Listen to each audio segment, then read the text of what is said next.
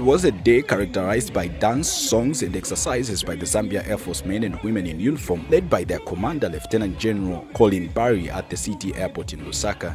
The Zambia Air Force were commemorating the Air Force Day, which falls on the 1st of March every year, to mark 58 years of the force's existence. Speaking during the event, Zambia Air Force ZAF Commander Lieutenant General Colin Barry pledged that the Air Force will continue safeguarding the Zambian airspace against enemy attacks and that they will continue to render support to the ground troops in the protection of the territorial integrity of the country. He added that they will also continue to effectively carry out their primary and constitutional mandate of safeguarding the airspace and that the Air Force is committed to promoting peace and stability not only in the country but Southern African region at large. We pledge to safeguard the Zambian airspace against enemy air attacks and to render support to the ground troops in the protection of our motherland. We pledge to stand with Mother Zambia in her pursuit for a united and economically vibrant Zambia. Additionally, the Zambia Air Force remains committed to promoting peace and stability in the region. Ladies and gentlemen, peace and stability in the region are key to economic development of Africa.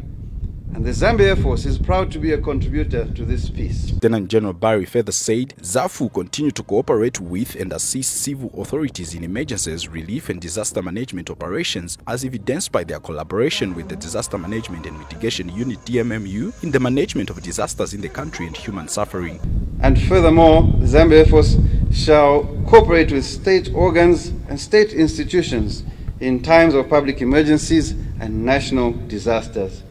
It is against this backdrop that the Zambia Air Force has collaborated with the Disaster Management and Mitigation Unit, DMMU, to manage disasters in the country and to assuage human suffering.